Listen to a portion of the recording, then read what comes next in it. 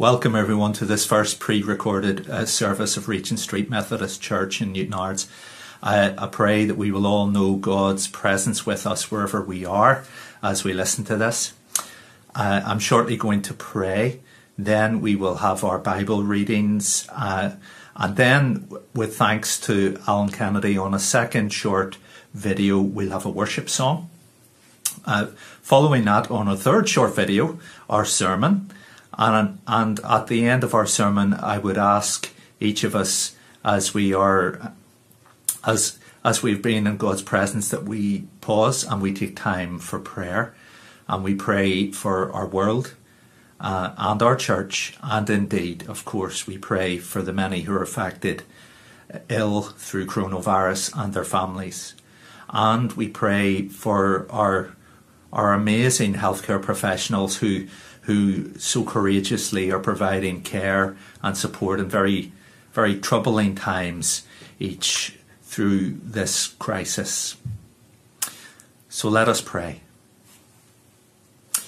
Lord God, in this time of darkness and in this time of crisis and in this time of pain, we come to you, the Almighty God, the God who is the Lord of life and the King of love, the one who turns things inside out and indeed brings life where there seems to be no life. Lord, we worship you because of your faithful, precious love to us. But as we worship you, so too we, we pause and we ask again for your mercy.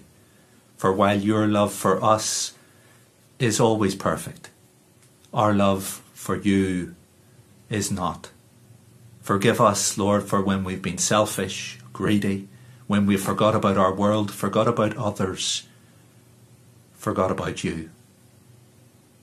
Forgive us, we pray, in the name of Jesus Christ, your precious Son, who died for us.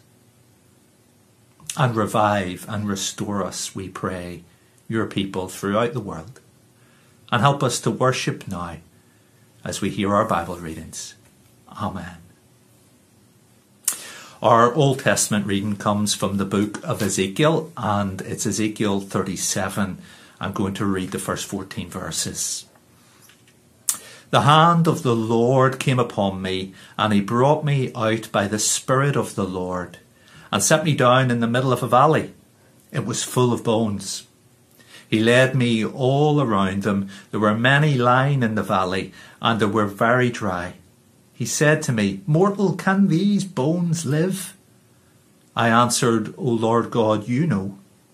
Then he said to me, Prophesy to these bones, and say to them, O dry bones, hear the word of the Lord. Thus says the Lord God to these bones, I will cause breath to enter you and you shall live. I will lay sinews on you, and will cause flesh to come upon you, and cover your skin, and put breath in you, and you shall live. And you shall know that I am the Lord.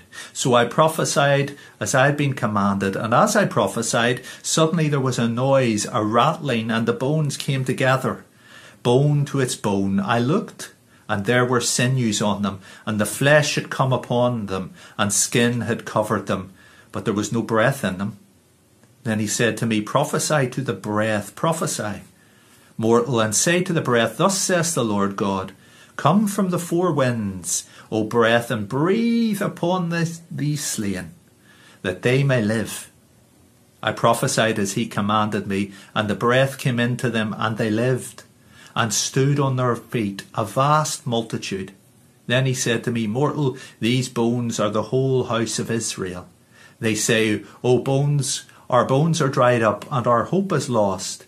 We are cut off completely. Therefore prophesy, and say to them, Thus says the Lord God, I'm going to open your graves and bring you up from your graves. O my people, I will bring you back to the land of Israel, and you shall know that I am the Lord. And I open your graves and bring you up from your graves. O my people, I will put my spirit within you and you shall live. And I will place you on your own soil. Then you shall know that I, the Lord, have spoken and will act. says the Lord. Amen. Our second reading is from John chapter 11. Now a man named Lazarus was sick. He was from Bethany, the village of Mary and her sister Martha. This Mary, whose brother Lazarus now lay sick, was the same one who poured perfume on the Lord and wiped his feet with her hair. So the sisters sent word to Jesus, Lord, the one you love is sick. When he heard this, Jesus said, This sickness will not end in death. No, it is for God's glory, so that God's Son may be glorified through it. Now Jesus loved Martha and her sister, and, Laz- and Lazarus. So when he heard that Lazarus was sick, he stayed where he was two more days, and then he said to his disciples, Let us go back to Judea. On his arrival, Jesus found that Lazarus had already been, been in the tomb for four days. Now Bethany was less than two miles from J- Jerusalem, and many Jews had come to Martha and Mary to comfort them in the loss of their brother. When Martha heard that Jesus was coming, she went out to meet him, but Mary stayed at home. Lord, Martha said to Jesus, if you had been here, my brother would not have died. But I know that even now God will give you whatever you ask. Jesus said to her, Your brother will rise again. Martha answered, I know he will rise again in the resurrection at the last day. Jesus said to her, I am the resurrection and the life. The one who believes in me will live, even though they die. And whoever lives by believing in me will never die. Do you believe this? Yes, Lord, she replied. I believe that you are the Messiah, the Son of God, who is, who is to come into the world. After she had said this, she went back and called her sister Mary aside. The teacher is here, she said, and is asking for you. When Mary heard this, she got up quickly and went to him. Now Jesus had not entered the village, but was still at the place where Martha had met him. When the Jews who had been with Mary in the house comforting her noticed how quickly she got up and went out, they followed her, supposing she was going to the tomb to mourn there. When Mary reached the place where Jesus was and saw him, she fell at his feet and said, Lord, if you had been here, my brother would not have died. When Jesus saw her weeping, and the Jews who had come along with her also weeping, he was deeply moved in spirit and troubled. Where have you laid him? he asked. Come and see, Lord, they replied. Jesus wept. Then the Jews said, See how he loved him. But some of them said, Could not he who opened the eyes of the blind man have kept this man from dying? Jesus, once more deeply moved, came to the tomb. It was a cave with a stone laid across the entrance. Take away the stone, he said. But Lord, said Martha, the sister of the dead man, by this time there is a bad odour, for he has been there four days. Then Jesus said, Did I not tell you that if you believe, you will see the glory of God? So they took away the stone. Then Jesus looked up and said, Father, I th- thank you that you have heard me. I knew that you always hear me, but I said this for the benefit of the people standing here, that they may believe that you sent me. When he had said this, Jesus called in a loud voice, Lazarus, come out. The dead man came out, his hands and feet wrapped with strips of linen and a cloth around his face. Jesus said to them, Take off the grave clothes and let him go. Therefore, many of the Jews who had come to visit Mary had seen what Jesus did, believed in him.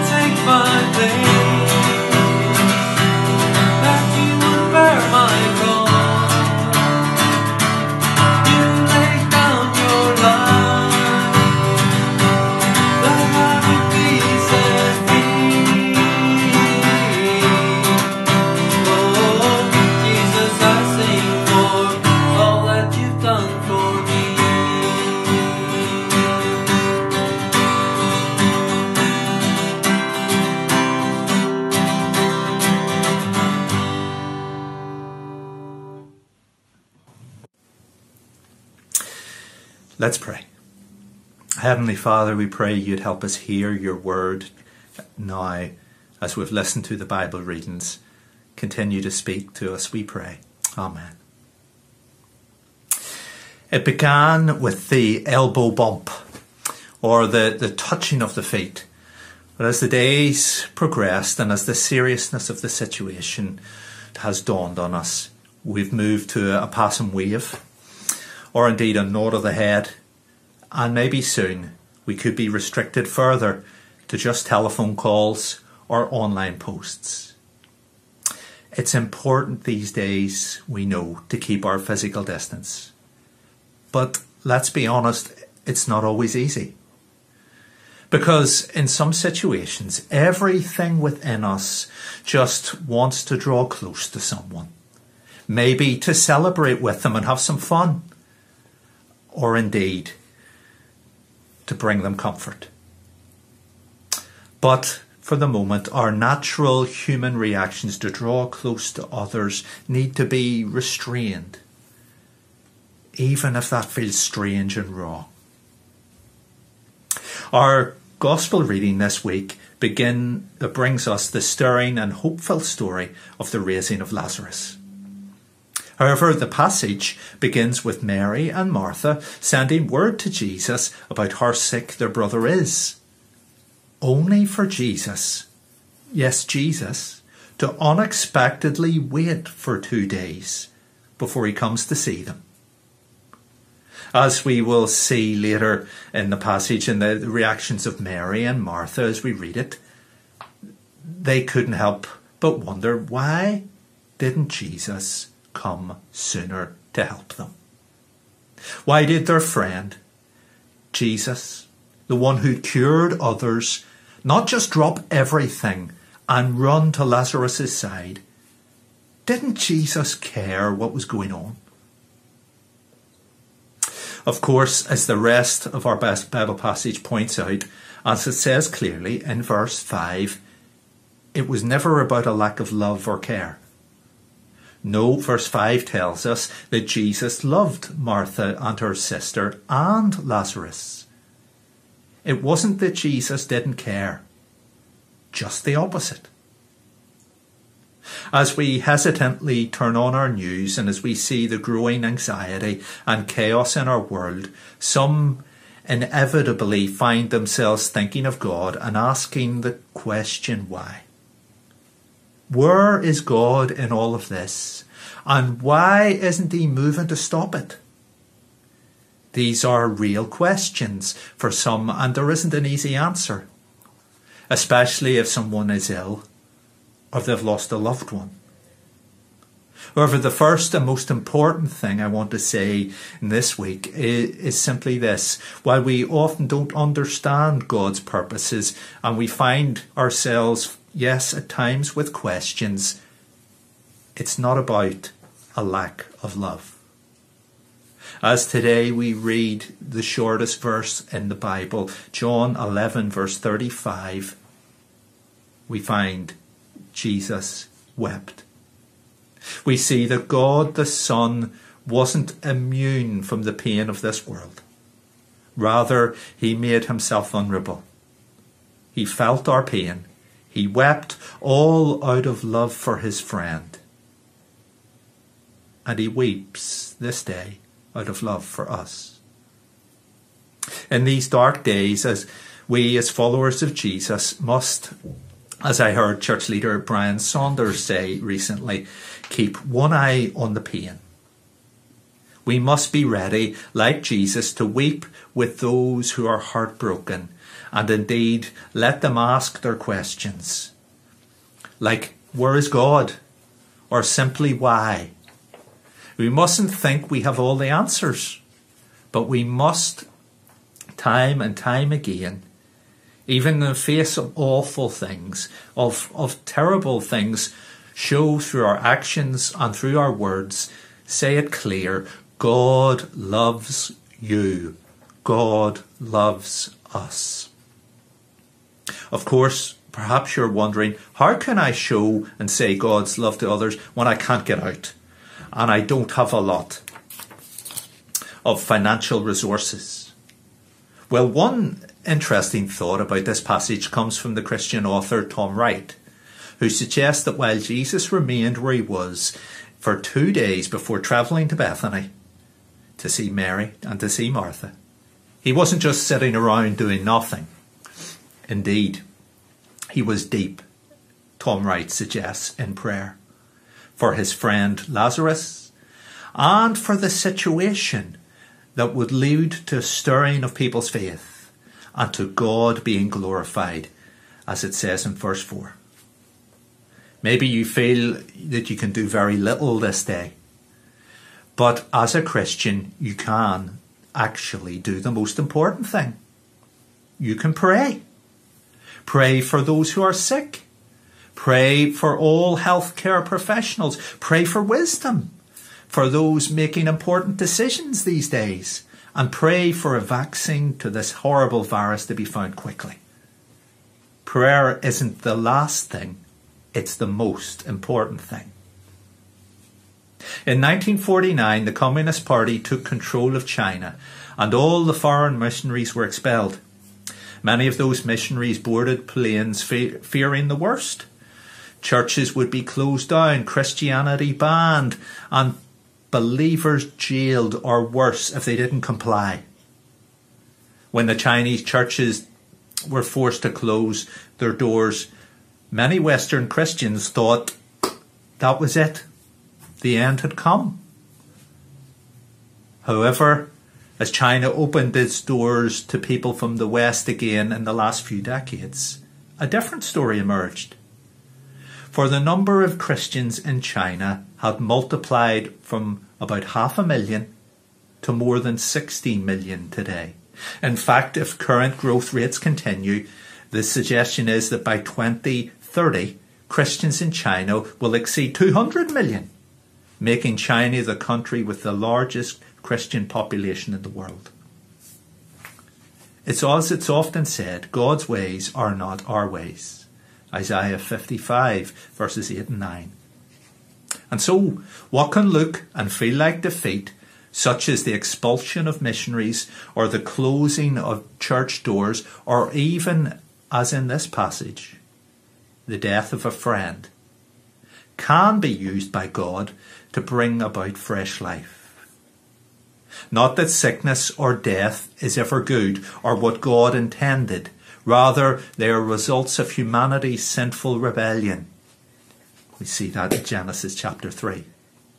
But just as Jesus, with tears in his eyes, called Lazarus out from the grave all those years ago, so God continues to call people in the most of the darkest and most difficult circumstances and give them new hope, faith, and eternal life. So, again, as Brian Saunders says, while we must at all times have one eye on the pain and we must share the heartache, we as Christians should also have another eye on the possibilities that are in the midst of where we are now. Yes, possibilities to help practically, but also possibilities to share the good news about Jesus. To mention his name in a phone conversation, or to gather up our courage and share our testimony with someone down the, the, the phone line. These are things that can bring light and life even in the darkest situations. As the days go on, and as we find church church doors perhaps remaining closed. I pray that we each will see new life growing in our own hearts as we take more time to pray and as we take more time to listen to God and read His Word. However, as we do that, let's also keep one eye firmly on others as we seek to be there for them and indeed where we can to share their pain and the other eye. Let's look for the possibilities that God may open for us to share with others and to talk about the one, the only one, Jesus Christ, who is the resurrection and the life. Lord God, we pray that you would stir our hearts in prayer and in service. Help us to trust you and follow you, we pray. Amen.